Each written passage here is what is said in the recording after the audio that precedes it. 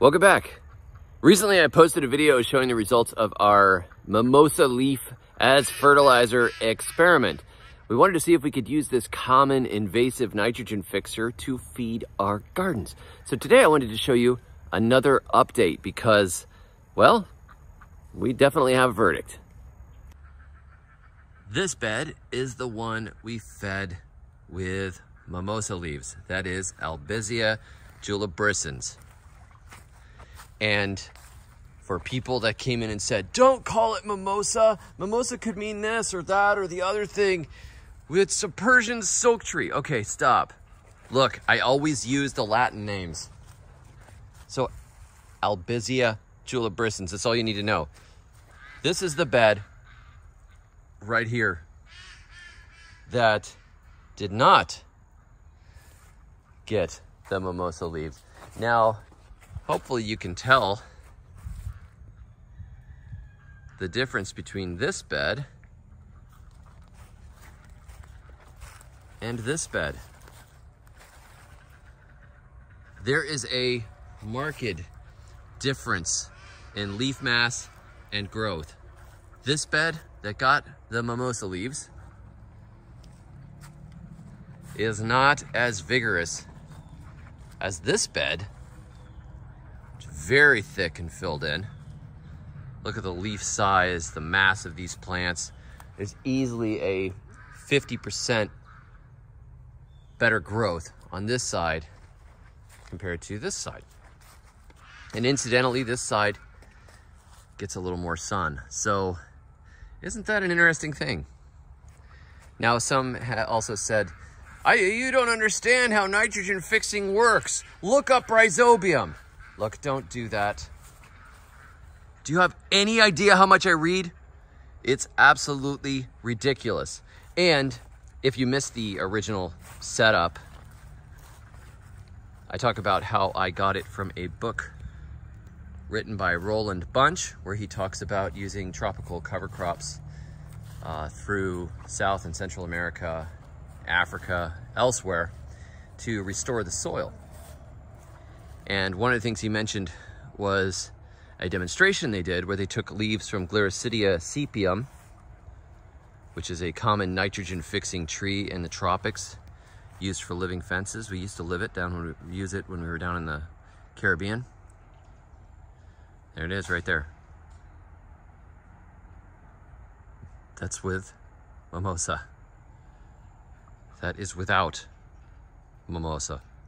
So anyhow, Gliricidia sepium leaves, he talked about how they would bury some at the base of a crop and you would see such a beautiful increase in growth. It acted as a fertilizer. And this is something about nitrogen fixing plants that you should know, and that is often their leaves are very high in a protein, which means their leaves are higher in nitrogen. So if you look at alfalfa, right, which is a common animal fodder, very high in protein for a plant. More nitrogen. I've used it as a fertilizer. I've buried it into garden beds and seen beautiful growth even in poor soil. So we decided to do the same thing with the mimosa leaves. They're deep green even on poor soil. So I actually crumbled them into the surface. I know I said I plowed them in this last time. I didn't actually do that. I just pulled the soil back a little bit, sprinkled mimosa leaves all through there.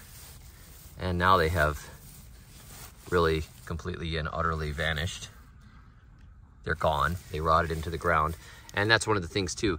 You know, did it eat up carbon and cause a decrease in growth? No, it shouldn't work that way because it would be what's considered a green ingredient in the compost pile, high in nitrogen.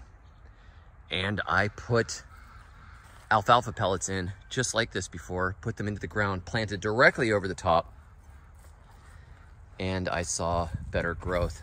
So my guess is, after some further study, and one of you posted a link on uh, allelopathy in Albizia julibrissin, is that Albizia julibrissin is allelopathic, meaning that it probably has some compounds in the leaf in the leaf that suppress the growth of other plants, at least for a time period.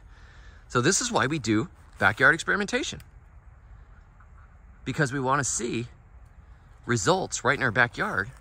Does it work or does it not?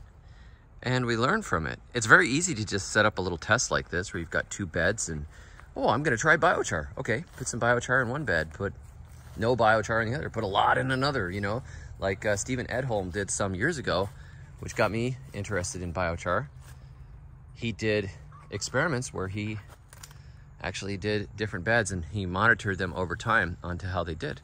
So this is a backyard experiment. You could do this sort of experimentation too. But this means that we are not going to be using mimosa as a, at least not as a, uh, a foliar, you know, just taking the leaves off and using them as fertilizer. If I say foliar fertilizer, you think of uh, watering or fertilizing the leaves. I mean, using the leaves as a fertilizer, we are not going to do that. It obviously is not a good deal. And we could run another test and see, but we probably don't need to. This is probably enough information. And it's not like it's super easy, you know, to just go and pluck five gallons. It takes like 10 minutes to get five gallons of the leaves. So, you know, if it worked, it would be worth doing the 10 minutes, but this is pretty obvious. So you know, do your backyard research, do your research in books and then test it in your backyard and see how it works. That really is the best way to do it. And that's how I write my books. Like when I wrote Totally Crazy Easy Florida Gardening, it didn't just come out of thin air. I didn't read a bunch of other gardening books and then say, this is what you're supposed to do. You know, what I actually did was put a whole bunch of plants into a death march through our backyard and the ones that survived were the ones that I recommend. So if I recommend a plant or a practice I will tell you if the idea came from somebody else and I haven't tried it, but I like to test as much as possible so I have real world experience. And of course, your experience and your climate may vary, your soil varies, etc. So take what you can use, discard what you can't, and be sure to do your backyard experiments. I thought this was a very interesting thing, particularly over time here, to see, man, that looks kind of suppressed compared to over here, which is very lush and thick. One other thing I noticed about this bed that was fed with the mimosa leaves is that it bolted. We have multiple plants that have gone to seed in here and I pulled some of them and fed them to the animals already. See, we've got pak choi going to seed, we have mustards going to seed, and we have a few over here.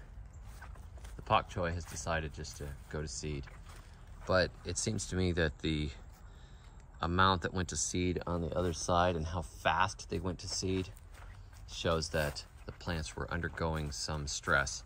It's just another interesting note. Thanks for joining me today. I hope that was interesting. I know this is one of those nerd videos, so for those high IQ nerdy people out there, this is for you. We are brothers.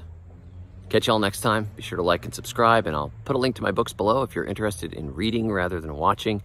I, I feel like I explain things better in print sometimes than I do on video, but y'all tolerate me very well. So thank you. I'll catch y'all next time. And until then, your thumbs always be green.